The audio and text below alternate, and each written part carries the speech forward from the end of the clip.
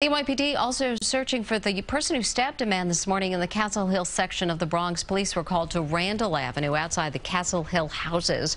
Sources say the victim was stabbed in the stomach. He's in critical condition at Jacobi Hospital. His identity has not been released. A suspect got away in a red vehicle.